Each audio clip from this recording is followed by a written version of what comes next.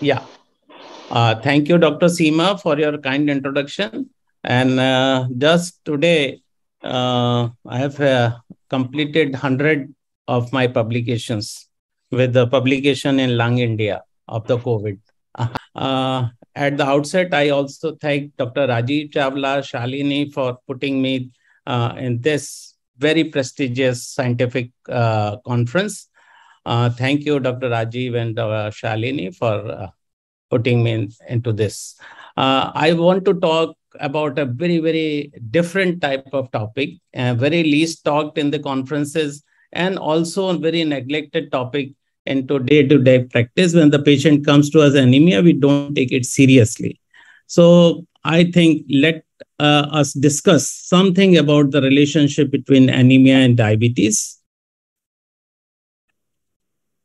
Uh, these are my disclosures. Let me put on the first at the outset. Anemia is one of the commonest and prevalent blood-related disorder occurring in patients with diabetes. We never think of that earlier and mostly occurs especially when the patients are already having the renal impairment or renal compromised patients. Most of the evidence indicate that the existence of anemia among type 2 diabetes is especially associated when kidney is failing, failing and in that uh, situation, the appropriate erythropoietin is deficient. Uh, we know this fact very well that anemia can adversely affect the health of the patient. The quality of life of the patient is actually suffer suffering when the patient is suffering from anemia. It has a major impact on the sense of well-being. Quality of life suffers a lot, as well as impairing their ability to work and affecting their social and sexual lives also. It is a, a common and often neglected into day-to-day -day practice and it is most of the time untreated complications of diabetes, which may have a negative consequence on the development and progression of other diabetes related micro and macrovascular complication. I'll give you a few evidences for that. The risk of occurring anemia among diabetes patients with kidney disease is known. It is high and it occurs early in those patients with the same level of renal impairment with other uh, etiologies. Of course, there are several uh, causes for that, but uh, for that matter, diabetic neuropathy, chronic inflammatory activity, increased levels of advanced glycated end products, age, erythropoietin hyporesponsiveness. Not only the production of erythropoietin is reduced, but there is a hyporesponsiveness in diabetes patients. Effects of oxidative stress and anti-diabetic medications are also important uh, players which can cause anemia in diabetes. Uh, of course, nutritional deficiency is very common, especially in our Indian uh, population, Indian females. They are very, very common, and, and especially in diabetic patients, which may or may not be caused by diabetes, but it can also result in anemia. Of course, there are some medications like ACE inhibitors, fibrates, metformin, and thiazolidinediones uh, Dr. Uh, uh, Panikkar is here, but we must agree on this particular aspect that these diabetes patients, I mean, these are the also the drugs may result into the anemia in diabetes patients. However, if you see what the, the microvascular damage can reduce uh, rats is survival, chronic hypoxia in diabetes may lead to hematinic defi deficiency, Oxidative stress leads to reduced iron availability. Local inflammation leads to systemic inflammation. Autonomic neuropathy leads to occult blood loss, which we never know uh, earlier. Increased salt reabsorption can, I mean, in the celiac diseases. Hyperfiltration in the kidney leads to drug, maybe because of uh, other contributors like drug therapies, urinary erythropoietin loss. I mean, there is a redu reduced renal production in erythropoietin and several other contributors are there which may lead to uh, the anemia and diabetes. Uh, we know that if patient is having both chronic kidney disease and uh, diabetes, of course, anemia is a very, very common feature. And if you see the third NHANES uh, survey, which found that people in general population with diabetes were nearly twice as uh, likely to have anemia as people without diabetes. So results from several studies have shown in uh, diabetic clinics especially, the prevalence of unrecognized anemia is nearly two to three folds greater than in the general population. And uh, in addition, uh, these diabetic patients tend to develop anemia at early ages. That is very important. And with greater severity than the general population. Now, what is the real pathophysiology? If we come into the molecular level, EPO, erythropoietin, released by renal cells has been shown to be modulated by kidney splanchnic innervation. Indeed, the renal denervation in animal models have led to loss of EPO production in response to hypoxic stimuli. So this may be one of the mechanisms by which the not only the production of EPO is reduced, but hyporesponsiveness is also there. Furthermore, EPO deficiency has recently been observed in anemic type 1 diabetes patients with severely symptomatic diabetic autonomic neuropathy. Of course, in one of the study, Bosman's study, which involves a small cohort of patients, of course, the serum EPO levels in anemic, anemic diabetic patients were found to be inappropriately low compared to the values observed in a control group. So there is a reduced number of erythropoietin synthesizing interstitial cells and impairment of the regular process, enabling the oxygen sensing through the hypoxic inducible transcription factor HIF1 alpha, which is secondary to interstitial fibrosis or vascular lesions, are the main factors involved in the anemia. So these are the two important mechanisms by which the EPO reduces and not only the cells which produces the EPO also actually are involved through the HIF1 alpha. Uh, of course, there are several other mechanisms involving cytokine-induced EPO synthesis inhibition, hyporeninemia, urinary loss of EPO has also been seen in some of the nephritic patients, and glycated uh, glycation of the EPO receptors by the uh, or secondary to hyperglycemia. Dear friends, I need not to, I mean, give the, all the details. What are the consequences of anemia? And if you have diabetes and anemia, particularly these consequences increases to a, a, a greater level. They like reduce oxygen delivery to tissues, decrease HbA1c compensated by increased cardiac, uh, increased cardiac output.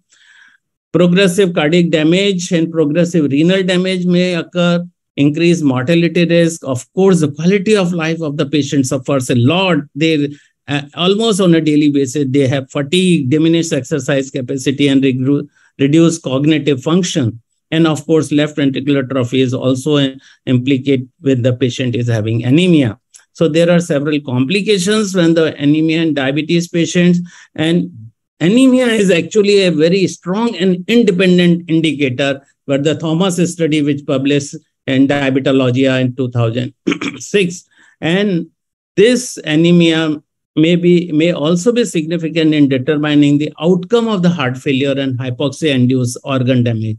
Dear friends, please do not neglect anemia at any cost in your diabetes patients because not only this uh, quality of life but also several micro and macrovascular complications including heart failure may uh, aggravate of course, there are several complications. Anemia, uh, the short uh, diabetic patients have shorter half-life, uh, shorter lifespan when they have they are suffering from anemia. It may lead to mitogenic and fibrogenic effects on the kidney and the heart. Uh, associated with expression of growth factors, hormones, and vasoactive reagents. Anemia is also correlated with oxidative stress because erythrocytes represent a major antioxidant component of the blood. So let me, uh, uh, I mean, say what is the target hemoglobin. Uh, most of the guidelines actually have shown that uh, the hemoglobin of a person should be definitely more than 12 uh, gram percent. That is the one of the thing, but actually there is uh, no recommendation at uh, as on now but revised european best practice guidelines for the management of anemia says that the hemoglobin level should be more than 12 grams in any case. Of course, if you define anemia by WHO criteria, the hemoglobin should be always be more than 12.5 gram percent.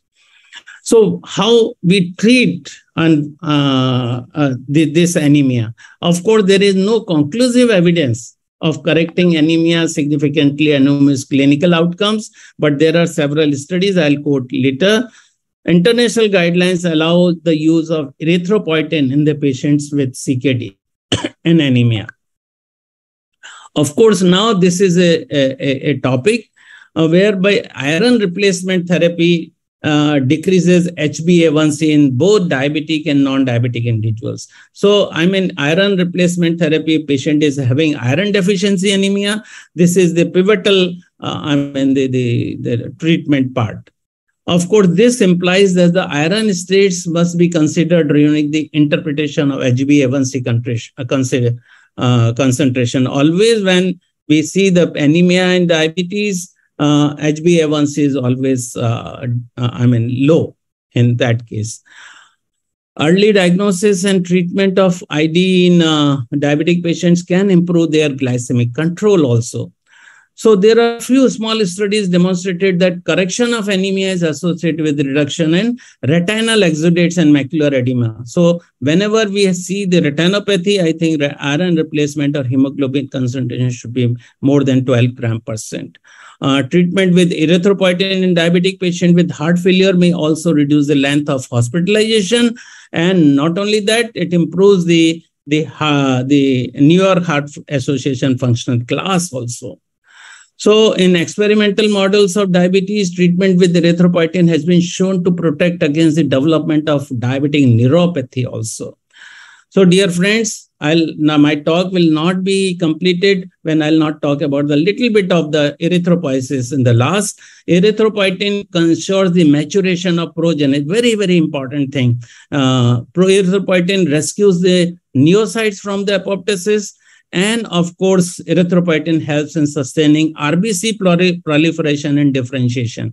Just see here, the, RB, the erythroid marrow actually produces RBC, circulating RBC, carrying the oxygen through the kidney, erythropoietin again uh, uh, aggravates the erythropoid, erythroid marrow to produce more RBCs. And if you see here, these are the stem cell or progenitor cells, and this is how the maturation uh, of erythropoietin takes place. So if you see only these two things, the non-anemic patients and the erythropoietin, if you see, whenever the patients get the low hemoglobin, oxygen carrying capacity reduces, peripheral hypoxia is there, the kidney comes to the rescue, increases the erythropoietin, increases precursor cells, erythropoids, uh, erythroblasts, and reticulocytes. Ultimately, erythrocytes increases, hemoglobin increases and oxygen transport. This is how the, in the non-anemic patients. But what happens in the patients uh, which has a CKD? Now, because kidney doesn't produce uh, the most of the erythropoietin or reduces, hence, if you see in the case when the hemoglobin is reduced in the patients, all the similar kind which we have seen earlier in non-anemic patients, uh, now if you see the, the damage the reduced erythropoietin ultimately when it is insufficient reduces the erythrocyte. Anemia is still still there. So the patient is continuously having anemia when the patient is having ckd so the important thing about whenever we are actually treating the patients with erythropoietin please replace the iron. That is very important. If erythropoietin is the vehicle that drives erythropoiesis iron is the fuel needed for production of new red blood cells. So this is my take-home message that whenever we treat the patients with erythropoietin, iron should be there to, I mean, complete the RBC cycle. So to conclude my talk, dear friends, anemia is very common in diabetes patients, especially in Indian population. I see on an almost daily basis, not more than 10 or 11 gram percent of the hemoglobin, not only in the males, but uh, very common in females. Uh, with decreased renal functions and frequently complications of diabetic nephropathy, especially when the patient is having compromised renal uh, uh, uh, pathology, the anemia is very, very common. Early diagnosis is the clue. Regular monitoring is required proper management with iron replacement and if it is needed erythropoietin therapy is very very essential for a diabetic patients to prevent the micro and macrovascular complications to i mean increase the quality of life of the patient. And in due course of time even it actually uh, uh, reduces the heart failure chances or at least improves that thing. So thank you very much uh, the accurate measurement of blood sugar uh, monitoring, glycated hemoglobin progress, and the progressive uh, of the progression of the complication of diabetes are highly influenced by the severity of anemia. Please treat or manage anemia in your diabetic patients. Therefore, routine screening and proper treatment of anemia and diabetic patients will improve their quality of life. Thank you very much for this uh, opportunity.